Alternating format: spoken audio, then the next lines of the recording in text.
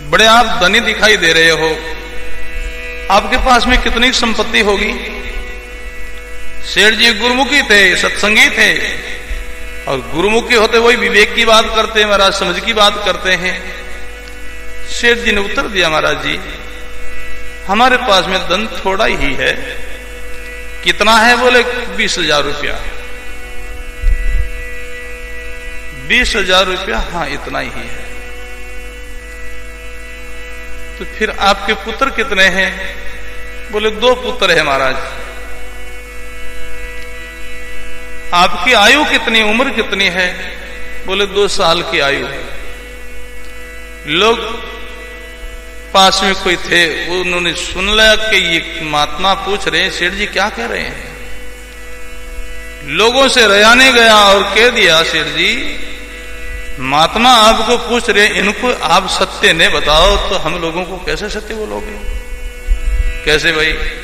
महात्मा ने पूछा कि आपके पास में धन कितना कितना बताएगा बीस हज़ार रुपया। आप तो बड़ा धनवान आदमी हो, करोड़पति हो। शेठ जी ने कहा, भाई, जिस दृष्टि से संतों ने पूछा है, मैंने उसी दृष्टि से जवाब दिया है। संत ने जो पूछा है, उसी दृष्टि से हमने जवाब दिया है। धन कितना है? धन बीस हज़ार रुपया आज की तारीख के पहला हमारे हाथ से परमार्थ के लिए, सत्संग के लिए, साधु संतों की सेवा के लिए गौ सेवा के लिए, गरीबों की सेवा के लिए आज के पहले बीस हज़ार रुपया खर्च हुआ है। वो धन ही हमारा है। बाकी करोड़ों की संपत्ति आज शरीर छूट जाए तो हमारा लोग बंटवारा करेंगे, पीछे वो हमारा नहीं हो सकता। ये सिद्धांत की बात है। आज की तारीख के पहला हमारे हाथ से जो कहते हैं पुरुषार्थ में परमात्मा बीस हज़ार रुपये खर्च हुआ है, इसीलिए मैं उन्हीं को हमारा धन मानता हूँ। यही यथार्थ बात है ये साथ चलेगा। आपके पुत्र पाँच, आप दो कैसे बता रहे, बोले, दो ही बेटा भाई। पुत्र ये पाँच हो चाहे सात हो, कोई साथ नहीं चलेगा। पुत्र है दो, पुण्य और पाप। बस यही साथ चलेगा महाराज। पुण्य है, वो हमारी सेवा करेगा, पाप उनका बदला देना पड़ेगा महाराज। पाप और पुण्य, ये दो ही पुत्र है। आपकी अवस्था सत्र साल की, आप दो साल की अवस्था कैसे बताई शेर जी ने कहा, भाई, महापुरुषों की वाणी के सिद्धांत से सच्चा हमारा जन्म उस दिन से माना जाता है, जिस दिन हम गुरुदेव की शरण गए, नाम के दीक्षा ली भजन के आगे आली और भजन में लगे उस दिन से जन्म माना जाता है। तो उन सिद्धांत से मैंने दो साल की अवस्था बताई, गुरु धारण किया ने, गुरुदेव की शरण गया ने, भजन में लगे ने, दो साल ही हुआ है। यही आयु है। बाकी कितना ही समय बीत गया है, वो बेकार बिरता है। शेषो सैस इक्कीसो निस दिन एता दम सब जावे शब्द लपड़ो साहस जो निश्चरे सो लेखे में आवे रात और दिन का इक्कीस हज़ार छह सौ हम सांस लेते हैं। उन सांसों में से परमात्मा का नाम लेते लेते हम सांस लेते हैं। वही सांस हमारा स्वार्थक है, कीमती है। वही समय स्वार्थक है। जो दिन जाए भजन के लेके, सो दिन आशी गिनती में। सदगुरु कबीर साहब का यह सिद्धांत रहा। बोले कि जो भजन में, साधन में हमारी समय बीते जीवन की वही समय स्वार्थक है हमारा। जिस दिन हम गुरुदेव की शरण गए, नाम के दीक्षाली, भजन की आज्ञाली, सुमरण में लगे, भजन में लगे, उस दिन से हमारा जन्म माना गया है तो वो तो दो साल ही हुआ है। तो भाई बहनों पाप और पुण्य यही संग चलता, वही साह चलता। इसलिए यह संदेश दिया रामचंद्र जी महाराज ने, पाप पुण्य तेरे संग चलेगा अवरन चाले लारो। पाप पुण्य तेरे संग चलेगा। अवरन चाले लारो। राम चरण बजे राम संगाती निर्धारा यादारो राम चरण भजे राम संगाती निर्धारा यादारो निर्धारा यादारो बोलो राम जी महाराज। पाप पुण्य तेरे संग चलेगा? अवरन चाले लहर और कोई भी वस्तु तुम्हारे जीव साथ नहीं चलेगी। राम चरण बज राम संगाती। परमात्मा हमारा संगी साथी है। निर्धारों का वो आधार है महाराज। तो उनका नाम का सुमिरण करो और अपना जीवन को सफल स्वार्थक बनाओ। केवल सुमरण का ही भरोसा करो। इनसे ही हमारा उद्धार होगा, कल्याण होगा महाराज। भजन के बगैर अंत में पछताना होगा, अंत में रोना होगा। अनेक प्रसंगों में हमारे महापुरुषों ने समझाया है, भजन के बिगर, नाम के सुमरण के बिगर, जीवन का कोई अर्थ नहीं भाई। फरमाया हमारे महापुरुषों ने, देही नेण बिना देन है सीर बिना। देही नेण बिना। और शरीर सब ठीक है, और नेण नेत्र नहीं है। अंधा आदमी, सुरदास आदमी, उनका जीवन अधूरा है महाराज। नेत्र के बिना जीवन जीवन नहीं है। देही नेण बिना। देन है सीर बिना। धैन कहते गऊ को। गौ के दूध नहीं है तो उस गौ की क्या शोभा है महाराज? दूध के बिगर गौ की शोभा नहीं है। तरवर फल बिना ऊप है जड़ बिना। तरवर फल बिना, जिस तरवर के फल नहीं लगे तो उस तरवर की क्या शोभा है? प्रसंग पर ध्यान देना भाई बहन ये सारा जो दृष्टांत किस लिए दिया जाता है, अंत में यही कहेंगे, ऐसे नर्तन हरि भजन बिना। सारा इतना दृष्टांत दे करके अंत में यही कहना है, तरवर फल बिना ऊप है जल बिना। जिस कुआ में पानी नहीं है तो उस कुआ की क्या कीमत है भाई? कोई कीमत नहीं है। कुल है पूत बिना। जिस कुल में पुत्र का जन्म नहीं है, वो कुल सुना है महाराज, कुल सुना है। पुत्र के बिगर उस कुल का वहाँ से ही समाप्ति होती है। आगे कुल नहीं चलता। कुल है पूत बिना हस्ति दंत बिना, नारी कंत बिना। हस्ति दंत बिना हाथी के दो प्रकार के दांत होते हैं। खाने का दांत अलग होता है, दो दांत दिखावटी होता है, वो हाथी की सुंदरता के लिए। और हमारे महापुरुष कहते हैं, वो तो दिखावटी जो दांत जो है ना, उस दांतों को लेकर के ही हाथी की कीमत है महाराज। और वो दांत हाथी के न होवे तो हस्ती की कोई कीमत नहीं है। और ऐसा बताया कि ज़िंदा हाथी की कीमत कम होती है।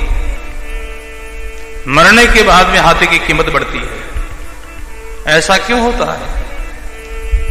ज़िंदा का दांत अपने हाथ नहीं लगता महाराज। और वो कीमत हाँ दांतों की हाथी की नहीं है। ज़िंदा हाथी की कीमत इतनी नहीं होती है कि ज़िंदा है तो, तो उनको कितना आहार देना पड़ता कितना खर्च देना पड़ता उनको। मरने के बाद में वो दांत हाथ लगता है तो दांतों को लेकर के ही हाथी की कीमत होती है। और वो दांत हाथी के न होवे तो हाथी की कोई कीमत नहीं मारा हस्ती, दंत बिना, नारी, सजन, कंत बिना।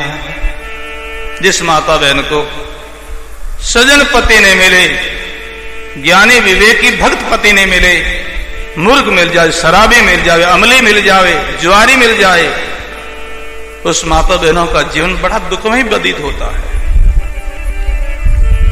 बहुत दुखी है महाराज वो। हम बहुत जगह भ्रमण करते देखते हैं ऐसा। कई लोग शराबी लोग हैं। माता बहनों को परेशान करते, मारपीट करते, कितना उनका अपमान करते, उनसे वो बड़ी दुखी है। कई लोग अमली हो जाते हैं महाराज। अमल से घर की बर्बादी कर देता है। और उन लोगों से ही वो दुखी है। कुछ जुआ की आदत है। जुआ में अपना द्रव्य को खो बैठता है। उनसे ही दुखी। तो यहाँ बताया है, हस्ति दंत बिना, नारी सजन कंत बिना। सजन पति मिले, सजन कंत मिले, सजन बरतार मिले।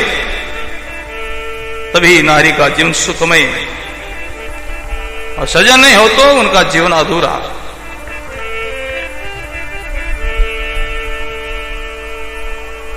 इतना कह करके अंत में यही कहा है, ऐसे नर्तन हरि भजन बिना भाई बहनों, इतना प्रसंग दिया केवल ये समझाने के लिए। उससे बताया कि इनके बिगड़ ये बेकार नेत्र के बिना देही बिना, है? नैन बिना देही। जल बिना कूप फल बिना तरवर, दंत बिना हाथी। ऐसे मनुष्य जीवन परमात्मा के भजन के बिगड़, सुमिरन के बिगड़ बेकार है हमारा। जीवन में भजन का भरोसा करो, साधना का भरोसा करो महाराज। जिन जिन्होंने साधना की है, उनका ही जीवन सफल हुआ है महाराज, उनका ही सफल हुआ, सार्थक हुआ जीवन। ऊपर के आडंबर की कोई महत्व नहीं अंत में महाराज। साधना की महत्व है। रात्रि के सत्संग में प्रसंग आया था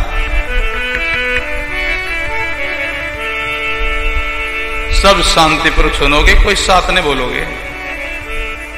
बोलने में आपको कष्ट होता है। साथ में बोल नहीं पाते। संगीत में बेसुर होता है। इसलिए शांति से सुनो। मन ही मन में बोलो। लागो रंग राम को रे, जोगिया अब क्या लगावे लाग रंग राम को रे। ये जोगिया, अब क्या लगावेरा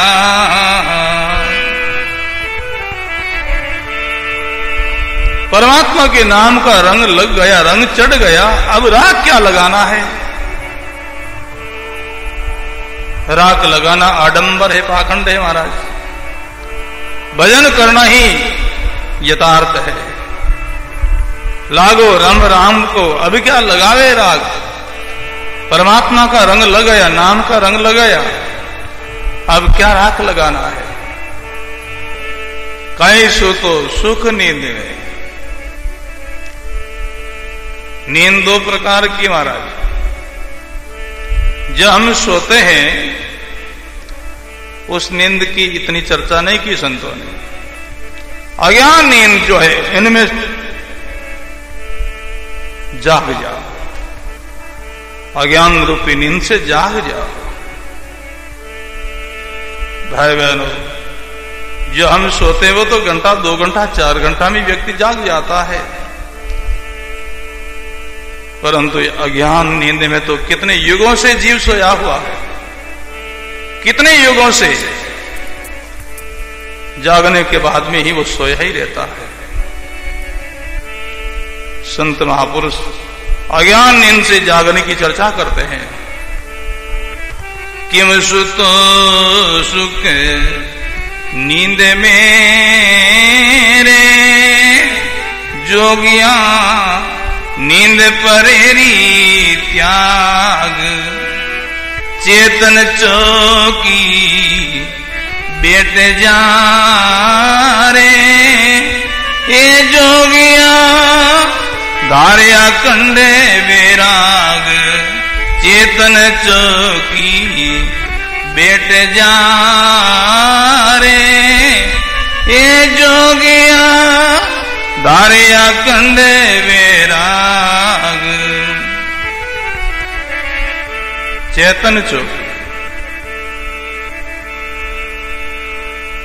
अपना आप चेतन का अनुभव करो महाराज। चेतन का अनुभव करो। मैं आत्मा चेतन हूँ, वही हमारा सत्स्वरूप है। उनमें स्थिर हो जाओ। चेतन चौकी बैठ जा, धार अखंड बेहरा जब मैं आत्मा हूँ, ऐसा अनुभव हो जाएगा। जग संसार से सुते बेराग हो जाएगा।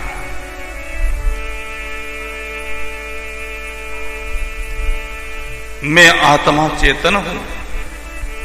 ऐसा अनुभव होने के बाद में फिर जगत नहीं रहता है। जगत का अभाव हो जाता है। ज्ञान में जगत को स्वीकार नहीं किया महाराज। जगत कुछ है। जग संसार सुपना है महाराज। सुपना है।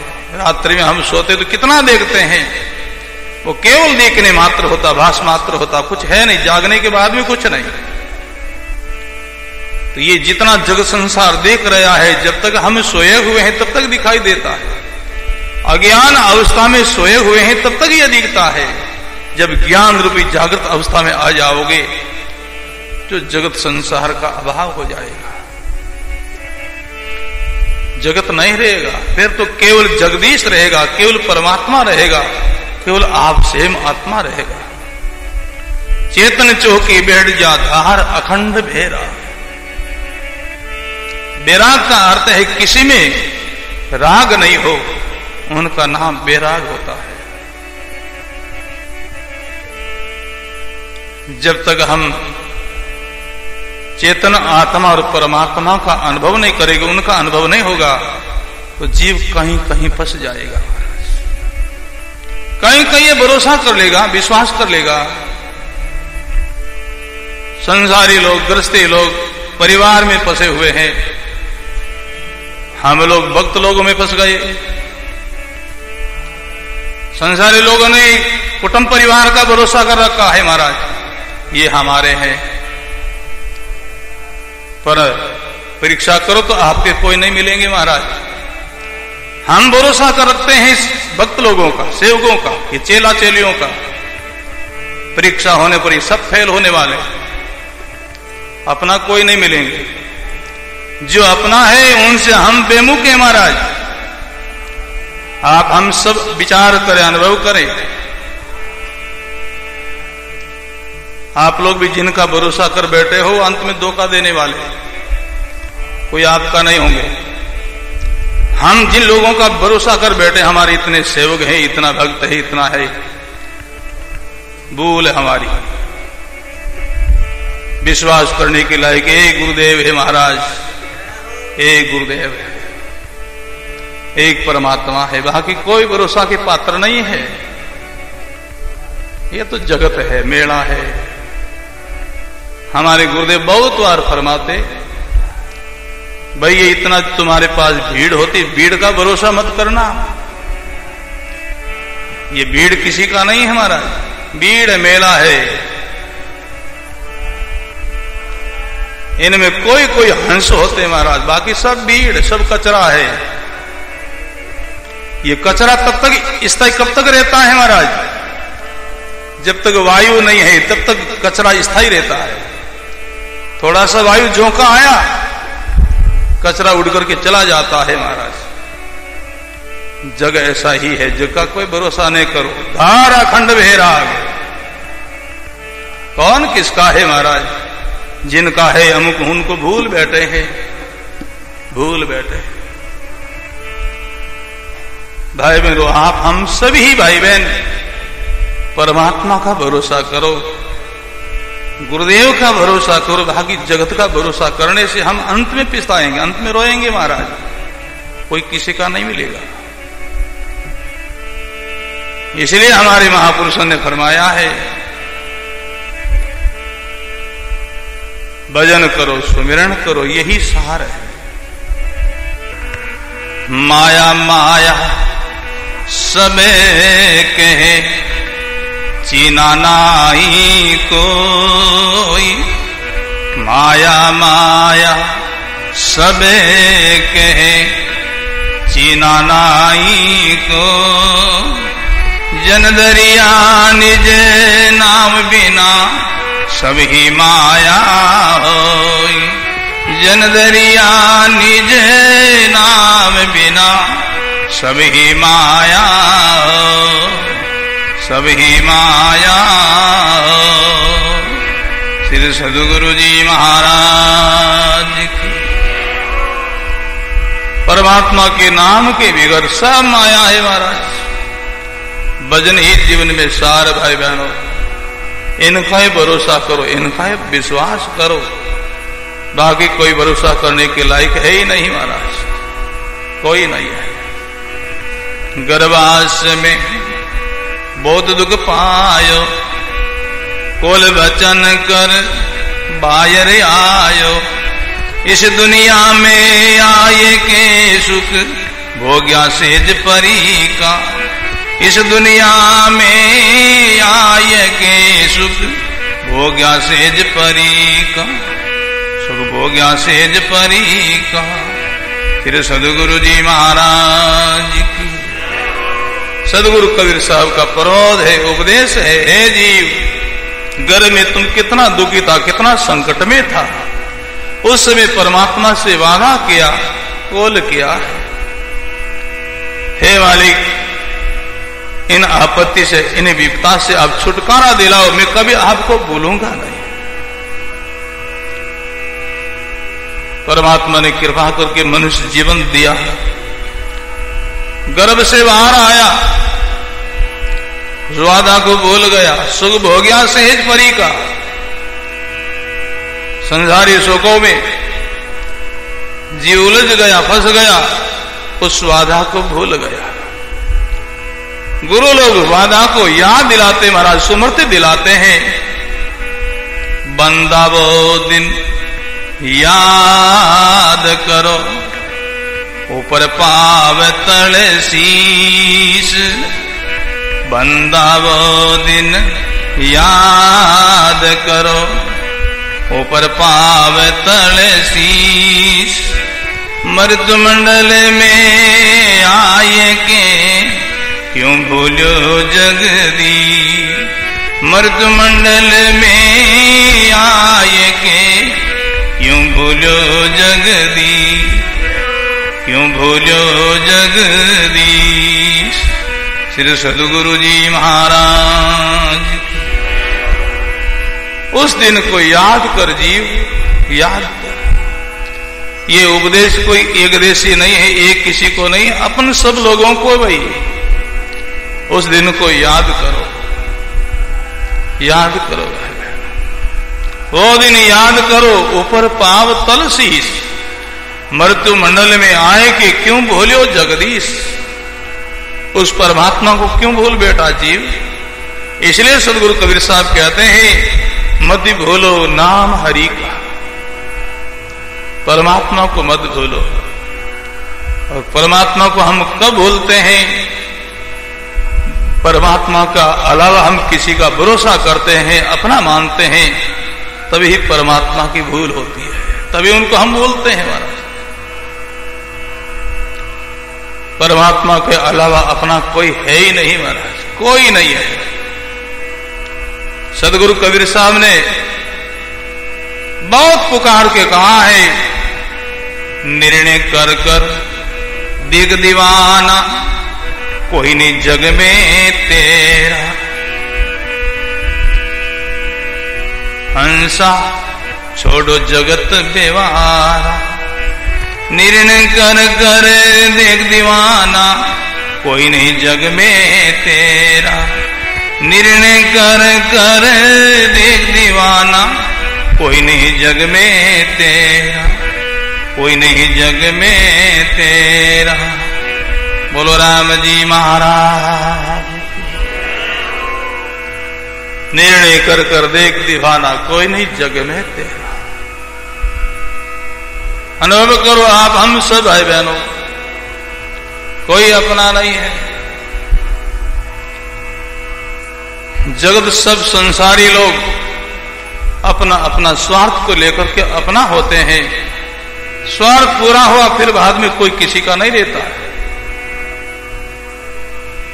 इसी दिशा से सदगुरु कबीर साहब कहते हैं, गुरु चेला दोई सायक जोड़ी बिछड़त देखी सबकी जोड़ी।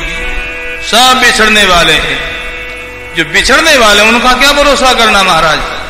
उनका क्या विश्वास करना है? सब बिछड़ने वाले गुरु चेला, दो सायक जोड़ी। बिछड़त देखी सबकी जोड़ी। काल बली ने गर्दन तोड़ी।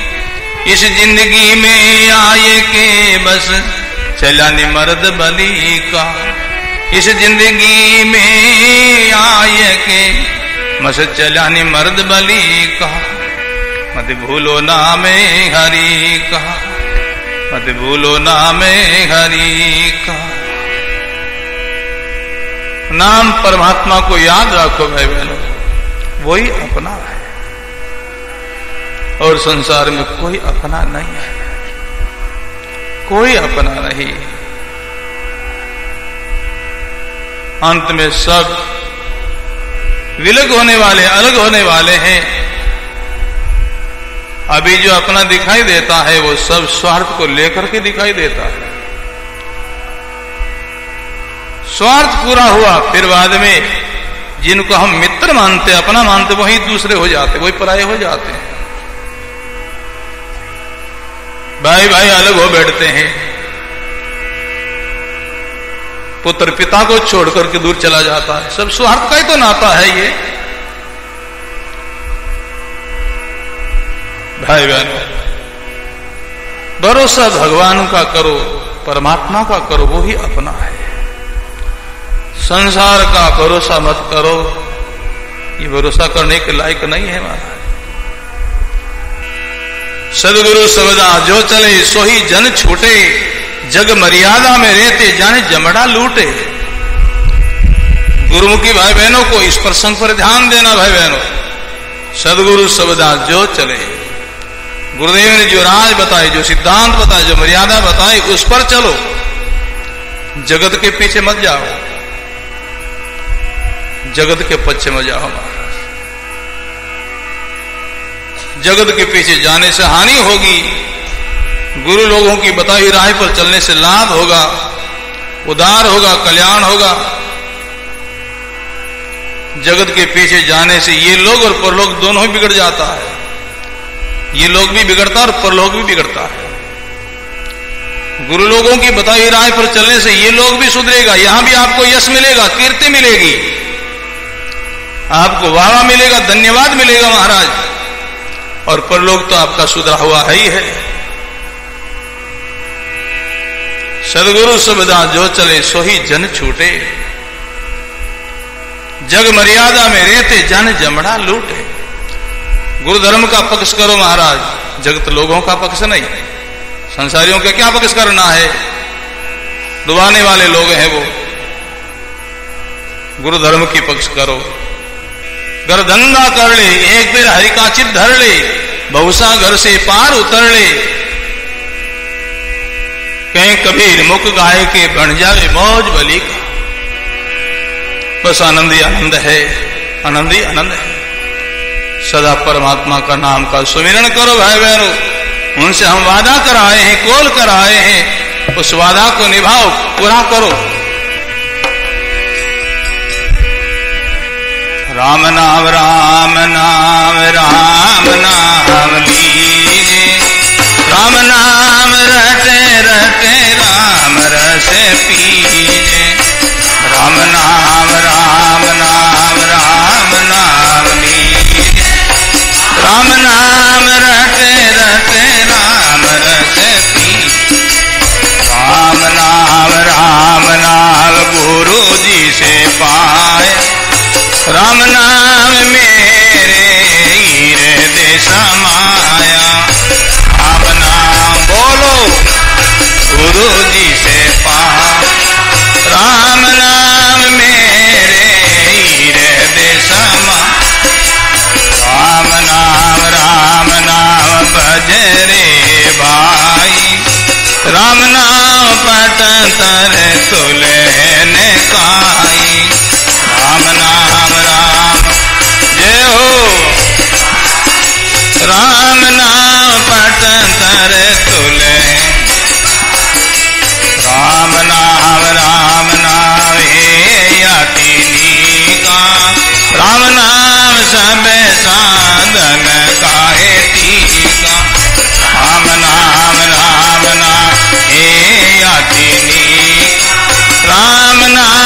राम साधन